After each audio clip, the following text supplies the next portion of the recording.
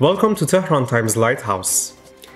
In this week's Lighthouse, we explore less seen but important pieces of news from politics to economics. Iran's top diplomat stresses cooperation with neighbors and promotion of economic diplomacy form cornerstones of foreign policy.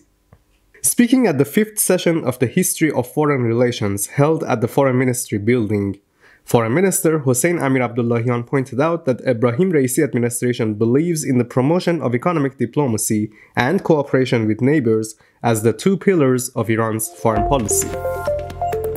Unprecedented open-ended UN probe against the Zionist regime.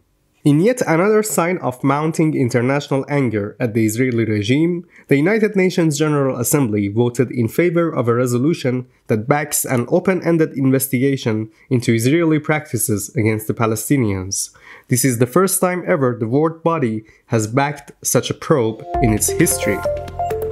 Hotel occupancy rate in Iran is up to 40%. The head of the Iranian Hoteliers Association has announced that the occupancy rate of hotels in Iran has reached 45%.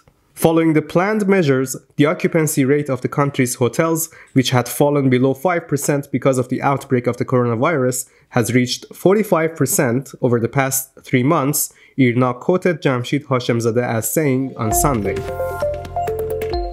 Industry Ministry should set up an independent department for SMEs. Given the importance of small and medium-sized enterprises, SMEs, at least one independent department should be established in Ministry of Industry, Mining and Trade for them so that they will be specifically supported. A board member of Iran Chamber of Commerce, Industries, Mines and Agriculture stressed. Thanks so much for tuning in with Tehran Times. See you next week.